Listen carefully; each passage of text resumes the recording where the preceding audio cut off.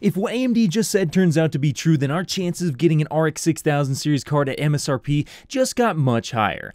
Let's talk about it. Before that, this video is brought to you by Aresgame and their AGV 750 power supply. The AGV 750 is a 750 watt 80 plus bronze semi-modular power supply with over 330 5-star ratings on Amazon. It features great looking black modular cables, overpower and overvoltage protection, a silent 120mm fan, and best of all, a 5-year warranty. Additionally, the AGV 750 comes with enough cables to power all your devices and they even include the screws and nice black zip ties for cable management. So if you're looking for an affordable and high quality semi-modular power supply, click the link in the description below to find out more. So shortly after the launch of the RX 6000 series cards, when asked over on Twitter about whether or not AMD would continue to create the reference RX 6800, 6800 XT as well as 6900 XT, AMD's Scott Herkelman said yes, but only through early 2021. So that got a lot of us very nervous because, you you know, the reference RX 6800 series cards as well as the RX 6900 XT do seem to be the only ones you can currently get at MSRP, where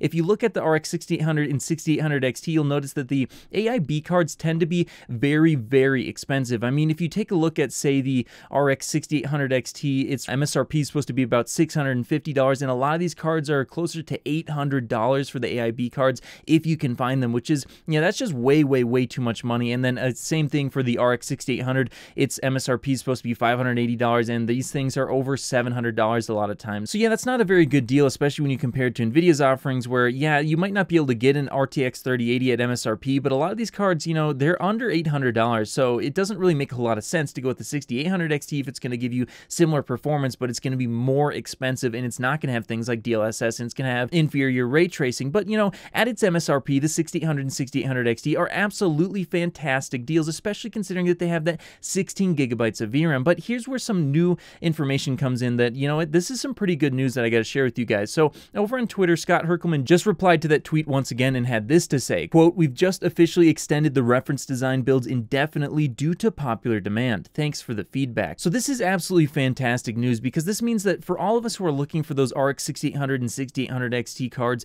well, our chances of getting one at MSRP just got drastically higher because, I mean, it, could you imagine if we went forward here with very low supply as well as an AMD stopping making the reference cards, well, you'd pretty much be looking at every single card you could possibly buy is going to be significantly over MSRP. Now, I believe uh, Hardware Unboxed mentioned that they talked to AMD on the phone at one point, and AMD told them that they expected some more uh, AIB designs to be coming in here shortly, sometime in December, that'll be closer to that uh, MSRP. But, you know, I haven't seen really much yet, and we're getting, you know, to the middle of December here. So hopefully by January that does end up happening because I know there are a lot of people out there who do want a uh, AIB designed RX 6800 or 6800 XT because, you know, typically they give you a little bit more power to play with, or maybe they're going to be a little bit quieter. You know, they have better designs overall. So they're just typically better cards that, you know, even though the reference design is very good, there's always a little bit of room to improve there. So I personally like AIB designs better. So again, I hope that that does end up happening shortly here. But it looks like,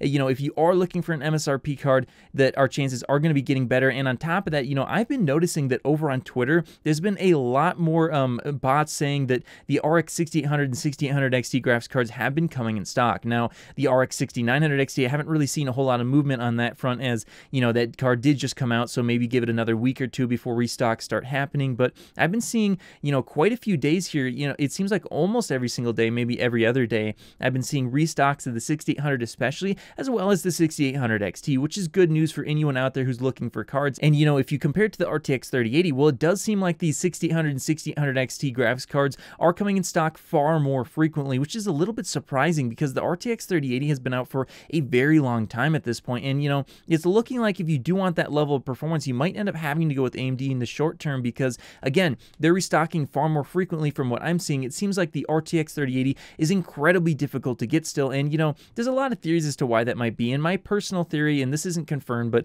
my thoughts are, you know, the RTX 3080 is made on the exact same die as the RTX 3090. It's the GA102. And it, if the GA102 is yielding very well, well, they can probably make make a lot of 3090s, and I've been seeing a lot of 3090s going up for sale. So if you're going to be able to make a card that's going to sell out pretty much no matter what, and one of them's $1,500 and one of them $700, well, if you're going to be uh, putting yourself in NVIDIA's shoes, well, you're going to want to make a lot more money and sell $1,500 cards off of the exact same GPU rather than sell that same GPU for $700. I mean, you're just going to make a whole lot more money that way. So yeah, that's my theory. I'm guessing that, you know, as soon as people stop buying RTX 3090s, which I highly suggest you, you do not buy an RTX 3090 because it's extremely expensive. I get there's a lot of people out there who you don't want to wait any longer and, you know, you're able to see a 3090, you're actually able to buy one, whereas you're not really able to buy an RTX 3080 right now. It's very, very difficult. So it's very tempting, but my suggestion would be just wait it out, get, get maybe an RTX 3070 instead. It's a very powerful graphics card, and those do seem to be coming in stock a lot more frequently. So uh, I just highly suggest you avoid the RTX 3090 or scalped cards on eBay because I think once you start talking about paying over a thousand dollars for a GPU, if you're if you're just gaming on it now, if you're doing professional workloads, I understand that a little bit, but if you're just gaming, yeah, I'd suggest maybe trying to stay away from spending over a thousand dollars just because you're not going to be getting a whole lot more performance for the money that you're spending. Because if you look at the 3090 versus the 3080, it's like 10% faster on average, and it's like $800 more. So it, yeah, that's not a great deal, and I would definitely avoid trying to spend that much if you possibly can. But you know, there is one little update I do want to give you on the RTX 3080 stock, just to give you an idea of why maybe another reason why it might be kind of difficult to get an RTX 3080 right now, and that's because you know a little while ago, Nvidia CEO Jensen Huang had this to say: "Quote: I believe that demand will outstrip all of our supply throughout the year." Remember, we're also going into the double whammy. The double whammy is the holiday season. Even before the holiday season, we were doing incredibly well. And then you add on top of it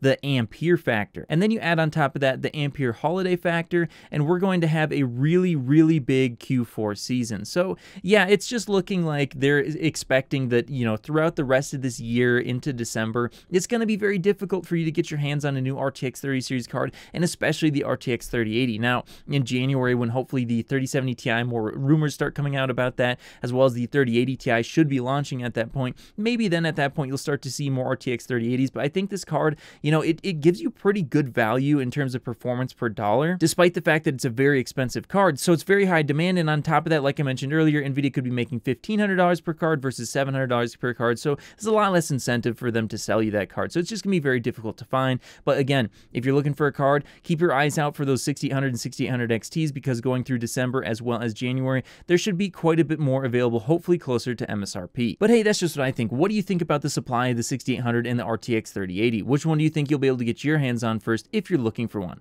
Let me know your thoughts in the comments below, and of course, I'll see you in the next video. If you made it to the end of the video, be sure to drop a like. Every time you do so, AMD and NVIDIA get more stock. Also, if you want to see more, click here. You won't be disappointed.